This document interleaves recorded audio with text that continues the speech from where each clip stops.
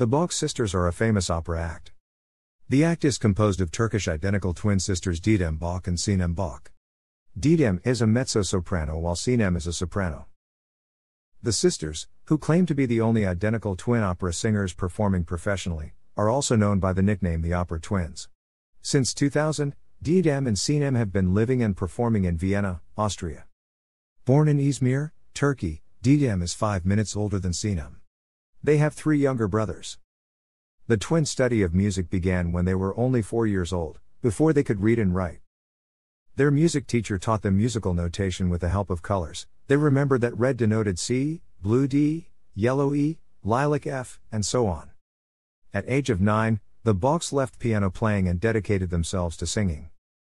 The twins were educated in the State Conservatory of Dokuz University in Izmir, and then attended the master classes of Lia Lantieri, Katia Ricciarelli, Dolora Zajick, and Placido Domingo.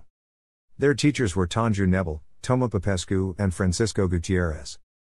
They continued their education in Prayner Conservatory of Vienna in Austria between 2001 and 2003.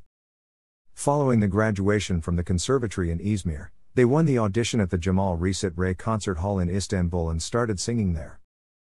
In 1999, the twins entered an audition at the Aspendos International Opera and Ballet Festival in Antalya, where they were discovered by Toma Popescu, an expert lecturer in singing at the Vienna Music Academy.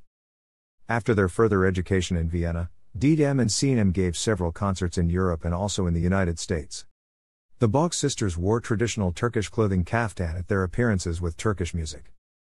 In addition to operas, the sisters sing operettas, Broadway musicals, French melodies, Italian Neapolitans, and Lieder.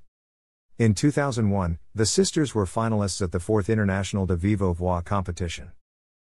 The sisters performed concerts throughout the world, including New York, Washington, D.C., Antalya, Ankara, Istanbul, Izmir, Dusseldorf, Essen, Frankfurt, galas, and performed at very special venues like Vienna City Hall.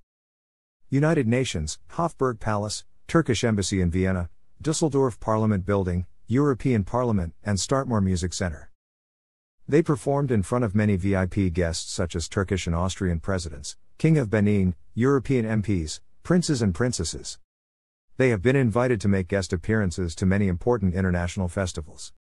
Placido Domingo said of them they are perfect for the sister role in Così fan tutte of Mozart, I see no reason for them not to have a universal career.